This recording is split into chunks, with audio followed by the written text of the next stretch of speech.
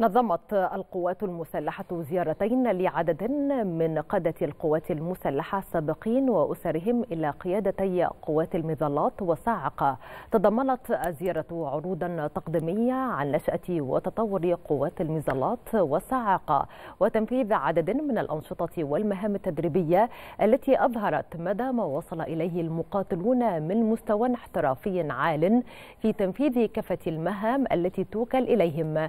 بالإضافة إلى تفقد عدد من المنشآت التدريبية الحديثة التي زودت بها القوات الخاصة. كما تم تكريم عدد من أسر الشهداء تقديرا لما قدموه من تضحيات في خدمة الوطن.